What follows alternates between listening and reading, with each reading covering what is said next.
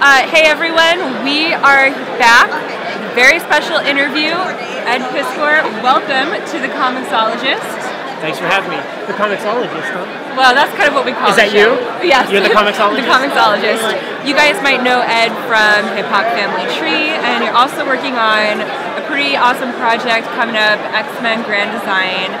So, reading the, both of these, by the way, we got to take a look at X-Men Grand Design, no big deal. Uh, I would call, I would call it the, the most amazing uh, comic project to be coming out in the near future. I that's just me. No, no, I, I think that's fair. That's fair. Um, reading both of those kind of together, I really get the sense that what you do is you kind of synthesize information about some cultural uh, phenomenon and then you present it in comics form. Yeah, com- comics is just a great tool for communication. Um, the the imagery of comics is very arresting to the viewer. Stops people in their tracks, and then um, so so my goal is to stop them in their tracks, and then you know teach them about something that I really love. Yeah. You know, like the only comics you'll ever see me do are dream projects. So it's I only do stuff about things that I really really love. Yeah. And um, you know, the hip hop thing is one thing, but it was X Men that got me into the idea of even drawing comics in the first place. I know? saw online some of your early childhood drawings of X-Men. Right. And can you tell us a little bit about how you developed yourself as an artist from those to now? Yeah, yeah, very easily. Um, the first issue of X Men that I was able to read, I'm saying like five or six years old, was issue 157. And I remember reading the credits box, and it said, you know, written by Chris Claremont, um, penciled by Dave Cockrum, yada yada. Right. And I asked my mom exactly what that was, and she said that these are jobs that um, that are required to make a comic book. So from that moment forward, the, the goal was to become a cartoonist. So very naturally, started off just copying drawings. Yeah. And then I started to uh, to make my own over time when I had a little bit more confidence, and that's the stuff that you're talking about, things that I did in my uh, math notebooks and, and uh, in middle school and things like that. So if your kids are doodling X-Men in their math notebooks, don't discourage them because they could grow up and be the next Ed Piskor. I, I, I recommend that. Yeah, exactly. Yeah. Like like uh, you know, there was a lady in the lunch line that I was talking to. and She said her son draws a lot, and I was like, yeah, you know, just keep encouraging him, keep encouraging him. Let him do his thing. Don't ever tell him that he can't make money because, you know, I'm wearing a Gucci hat right now. Like, like I'm doing all right.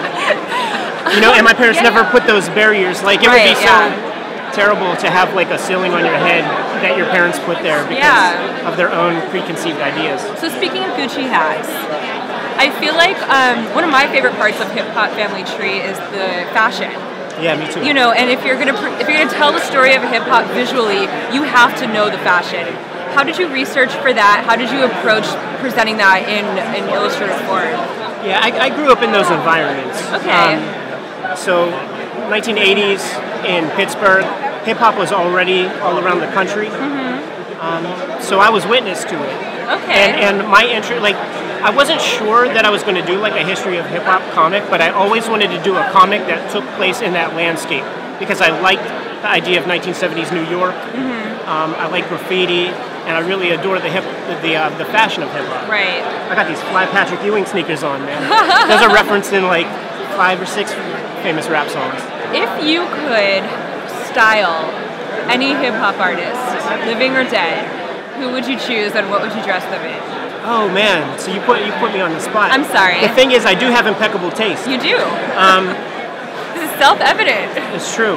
Um, you know what? You have me on the spot, and I don't have Sorry. a good one for you. I'm sorry. Who would you like? Obviously, you asked Oh, this man. question because you have you have uh, you have something in mind. I don't. I defer entirely to your knowledge. Okay, let's let's maybe make it a little less high stakes. Okay. If you were gonna hip hop an X Men character, I can answer that. yeah, because because in my comic, I always thought that um, when Logan's walking around with like a cowboy hat on, that that's some hillbilly bullcrap, and I don't like it. So so I have him in, in hoodies and um, in like camo pants. okay, nice. I mean, he is Canadian. Do they wear cowboy hats in Canada? Whatever you call that Magic Mike hat he wears, man. I, I don't know with, with the so like curled up. Okay, next question that's probably going to put you on the spot, and you can beat me up for this later. Um, do you have any playlists that you could give, like maybe give us some uh, examples of that you use to kind of get you inspired while you're doing X Men? Oh, X Men. Oh, that, Hip hop. that- I feel like that one. one's an easy one. Yeah, yeah. Um,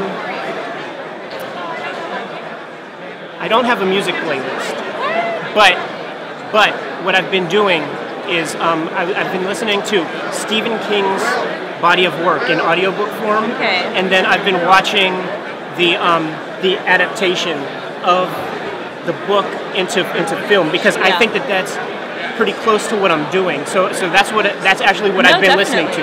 Yeah. So so it's like instead of taking you know a hundred something thousand word book and, and turning it into a movie, I'm taking eight thousand pages of comics and turning them into a 240 page comic. I mean, it, you're really doing like a public service. I think so. I feel here.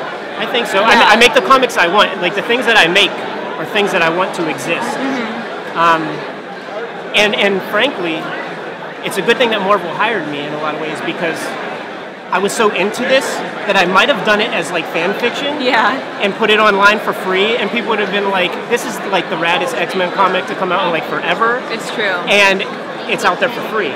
You know, so so DC better watch out if I if I want to do a Batman thing someday. Once we read your X Men book, uh, say someone's never read X Men before, this is their first experience with it, what would you recommend they pick up next? Uh, besides Hip Hop Family Tree, obviously, and whatever DC project you decide to, to tackle. Well, if, if you're just if you if you're not being like X Men specific with with the recommendation, is that what you mean? Like it could be anything. Well, Or it could be anything, but if you have an X Men one, also that that would be cool because I feel like it's hard to get into these these characters. Right, right. Um, you know, like you could read any old X X Men issue from from from one to two hundred and eighty, and and you will be perplexed but intrigued because that, that's sort of what got everybody I know into X Men. Uh, was the puzzle of it because you get an issue. It's like a soap opera. You like you you watch you watch an episode of a soap opera you've never seen.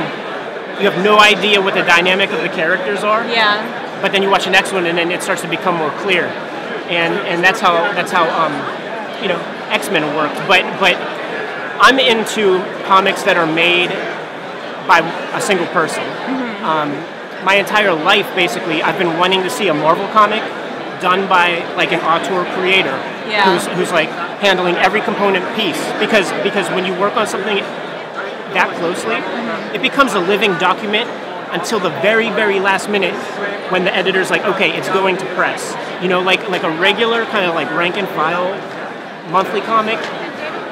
Each, it's like divvied up. It's collaborative. It, well, it's certainly collaborative, Yeah. but like the writer can't necessarily go back at any moment and change things. Yeah. And the penciler can't necessarily go back.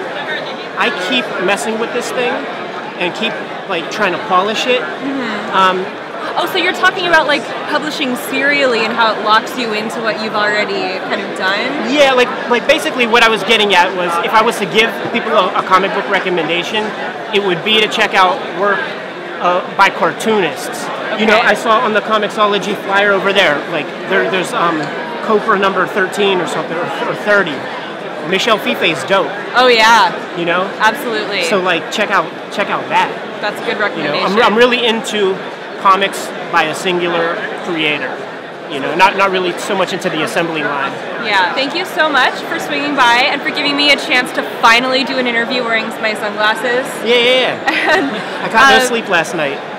Well, I I just like wearing my sunglasses. You can check out Hip Hop Family Tree, and can you let us know when X Men is going to be available? Yeah, first issue comes out in December. Second issue comes out in January. Awesome. Thank you. Thank you so much. Bye, guys.